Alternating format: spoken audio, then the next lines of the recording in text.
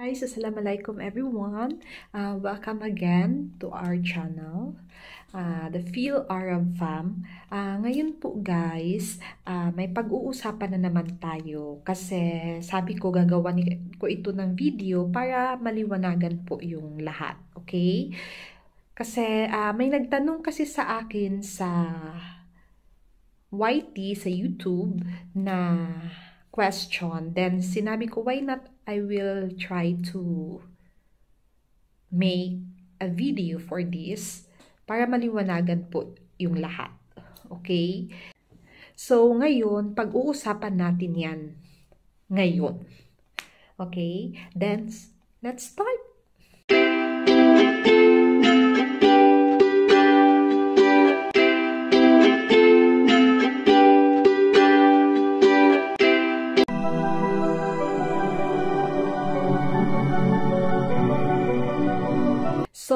Ang pag-uusapan natin ngayon guys about sa question ng isang kababayan natin na nakapag-asawa din ng Arab. Ganyan po. Uh, so, thank you so much sa question nyo. And nakagawa ako ng video to clarify this all. Okay? Ngayon, ah... Uh, Just to clarify, pag-uusapan natin regarding uh, her questions. Ito yung question natin niya na, I'm sorry, ito yung question niya, Salamalaikum sis, ask ko lang why you are holding ikama. If you legalize your marriage certificate here in KSA, then whether second or third and fourth wife for Saudi citizen holding Hafiza ID, yes holding for, for Saudi citizen. Ikama for non-Saudi for those foreigners who didn't get national citizen as Saudi but married to Saudi. Yes, of course, it's true. Okay, ngayon pa, pag-uusapan natin yan. Uh, to answer this question, sis, uh, ganito yan siya.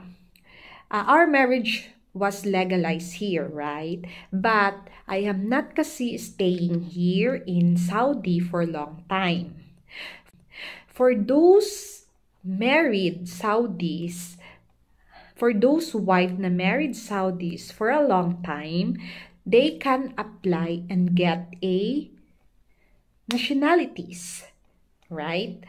Sa akin naman po, I am not kasi staying here in Saudi for long time. Kailangan kasi at least you're staying here 5 years up para makakuha ka ng nationality. Then, you can get the passport also as well. But, uh, kay, not guarantee po yan siya. You need to apply for it kasi you cannot predict the rules. Rules is rules. Yan po. And also, uh, very difficult kasi yung rules nila. Kaya sinasabi ko na not guarantee. And hindi po kami nag-apply kasi nga I am not staying here for long time. Kailangan kasi hindi ka mag uh, hindi ka mag-vacation, you are not traveling, you are not going to out in the country for five years. Ganyan, to go home or like that for your family. And then, for me kasi, uh, I need to go home kasi may mga works din ako kami doon. Right? So, uh, that is why uh, I am going and coming only here kasi I am not staying here for a long time. Yun po. So, for those Filipina na nagstay here for a long time, maybe they got it, the nationality for those for a long time. But for me, uh, I didn't get it and I am not aftering also for that. And now, uh, hindi lang naman ako yung walang nationality even though I have, I am married sa Saudi. Kasi there are Saudis also, Saudi people na wala ding nationalities, not just me. May mga Saudis din na walang nationalities, guys. Okay? And I don't know, I couldn't explain it further. They are the one knows and I am not the government to tell, to say it. And you know naman, the rules in Saudi is strict. So, rules is rules. This is kingdom, okay? The, the government, the one knows for all. So, for me, maybe if I try to stay here for 5 years, 4 years, they will give me, but still not guarantee. Yun po. And also. Uh, bakit nga po ikama lang? Yan po, yan po yung sagot ko bak ikama lang kasi I am not staying here for a long time. And ikama kasi dahil yan yung passes natin dito sa Saudi. Whether you are a workers or a Saudi wife, it is just like pretty much like lang na national ID but it's not a national ID But nandun po lahat. It's an ID po, pero nandun lahat yung uh, information nyo sa ID na yan. And connected yan siya sa Abshir dito kasi electronic nga. Gaya nga ng sinabi ko, hindi po sila basta-basta nagbibigay ng nationality here kasi they have the strict guidelines po na rules dito. This is kingdom. And also, regarding the nationality, I am not naman aftering as long as na-add na po ako sa ID ng husband ko. That's the important and my kids. Ang sa akin naman is, I am not aftering for the nationality for now. Kasi, hindi din ako makastay for long time here. It's depend na po if Allah's will na makastay ako here and they will give me a nationality, I will be honored and blessed to have it. Yan po. Pero it's not guarantee pa rin kasi difficult talaga yung rules nila. Gaya nga ng sinabi ko, uh, it's not just me as a Saudi wife ang wala. Few only, those Saudi na nag-married ng, ng I mean, those Filipina na nag-married ng Saudi and they stayed here for a long time, right? And the important naman guys eh, na as long as you are, your marriage was legalized here in Saudi and you are a Saudi citizen's wife, you are not a holder of any ikamas na working and uh, you are already uh, holding an, an ikama na Saudi citizen's wife, yun po yung importante. Kasi don't expect po na you will go beyond that and get the nationality kasi strict talaga sila. And the important naman for me is na-add na ako and uh, yung mga bata uh, na-add sa family ID uh, they are Saudi citizens. Yun, yun naman ang importante. For me, no problem po sa akin. Yun po. As long as you are a holder of ikama na Saudi citizen's wife and the important is na add ka na sa Saudi family ID and you are part of the family. Yan po. And legalize yung marriage nyo dito sa Saudi. And don't expect na po yung nationality kasi mahirap talaga. And gaya nga ng sinabi ko kanina, kailangan mo munang magstay dito 5 years and up. So kasi yan po yung uh, parang rules na din nila. Rules. And pwede kang mag-apply pero without vacation. Gaya nga ng sabi ko sa iyo, without vacation, without traveling, without going home. So, ganyan po. And ma-travel pa naman ako na tao. So, hindi talaga siya, ano, uh, pwede na makastay ako ng long time here. Maybe, inshallah, if, if Allah's will talaga na magstay na ako dito, why not, di ba?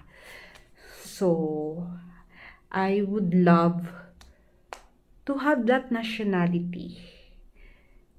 And I'll try if Allah's will and the government give me that nationality. But for now uh, I am not aftering for that And also pala guys, malay nyo pala, uh, they won't give you that years, like 5 years, uh, hindi sila magbibigay. So, wala pa rin. So, you need to stay pa rin until you can get that nationality or malay mo pala until 8 or 10 years pa or more than that. So, it's long time. You're gonna wait it for long time. So, yan po. Kasi nga, uh, strict talaga sila. Very difficult. Kaya, it's okay that you don't have nationality here.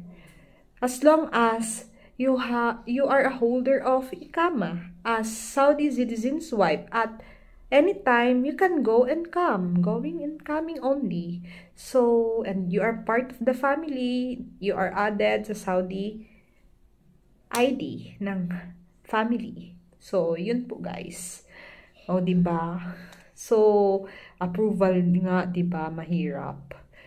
How much more? And balay mo pala i-reject nila every time na nag-apply di ba so gaya ng approval maraming na-reject, maraming na-failed, maraming hindi na-approve. So, mahirap talaga. So, you cannot predict, guys, the rules. So, for those nakakuha ng Filipina na nagstay dito for long time, na kaya nila na magstay dito for long time, uh, alhamdulillah, uh, good for all of you. And nakaya nyo na magstay here for long time, So, Alhamdulillah. And hopefully, inshallah, if I will stay here for a long time, Alhamdulillah, makaya ko din. So, yun po guys. And it is not easy din guys. And very difficult talaga kasi it is the rules eh. And this is a kingdom guys. Uh, you need to know that kingdom po ito. Okay? And also, uh, strict yung rules nila. Rules talaga is rules. So, we cannot predict po kasi sila po yung ha may hawak ng rules. And isa pa guys, uh, yung approval nga, may, marami nang mahirapan sa pagkuha. How much more yung nationality. So, uh, mahirapan talaga Uh, they are not same with other countries na madali lang makakuha ng nationality. Even they stay for how many years that they can get it immediately. Hindi po ganyan. Kasi, you know, nagaya ng sinabi ko, this is kingdom. So, very difficult talaga. And you know naman, iba't iba naman yung rules ng bawat country. So, ang rules po dito is difficult. Yan nga, difficult po. So, yun po guys. And ito nga pala yung ikama ko guys. Ito. And, ayan. And the family ID nasa husband ko po. Yung family ID. Kasi hindi ko naman pwede sabihin, give me your family ID. Mapapagalitan ako guys. Of course, daladala niya yan always. So, for those nakakaalam kung ano yung ikama, yung ikama is an ID, a resident permit ID na naka-indicated doon lahat ng information mo sa ID na yan. Uh, gaya nga ng sinabi ko, whether you are a workers or a Saudi citizen's wife. Pero different naman po yung uh, workers and Saudi citizens wife. Kasi yung workers, pag once na tapos na po yung contract nila, immediately po, deleted na yan sa system nila electronic. Cancelled na po yan. Sa amin naman as uh, Saudi wives, continue po yan siya. Uh, renew ng renew lang po. Kasi may expiration din yung ikama. ID. So, yun po guys. And we need to uh, carry that anywhere when we travel uh, inside the country. Kasi uh, passes nga yan here in Saudi na you are holding a you are holding a ikama, an ikama na to show and prove to them na meron kang ikama.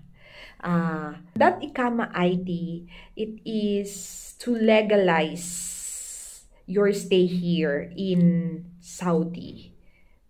Uh, like for work, like that. And as a Saudi citizen's wife. Yun po. And different naman kasi kung for work naka-state yung ano nila, yung work nila sa ID na yan. And for Saudi's citizen's wife, Saudi citizen's wife talaga ang naka-indicate sa ID. And free po yung free po kami makapunta anywhere. While yung ano naman, yung may hawak na anong tawag nito? Ah uh, ikama na for work, uh, makaka-travel naman sila ganyan. But it's not like free talaga kasi they have work. They are not allowed na uh, to go beyond like us na Saudi citizens wife anywhere we can go. Coming, going, coming. Yan. And sa kanila, pag tapos na po yung contract nila, wala na po yun. Cancelled na po yan siya. I-delete na po yan nila. So, wala na po silang ikama. Ang sa amin, continue naman yun lang is kailangan i-renew ng renew. Yun. Kasi may expiration din.